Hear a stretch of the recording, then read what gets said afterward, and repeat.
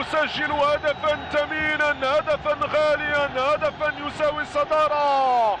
هدف يساوي الانتصار في هذه المباراة في دقيقة 78 هدف من صناعة ميدن بديعوك والختم ويختم لبدر كشاني قلت أنه ميغيل أنخيل جاموندي تشبت بمهاجمه تجمت برجل ثقته وهو يسجل هدف الثاني في المباراة وأصبح النتيجة 2-1 لحسنية قدير أمام الفتح رباطي.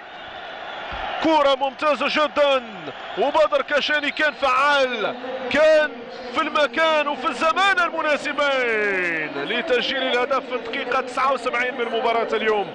تصبح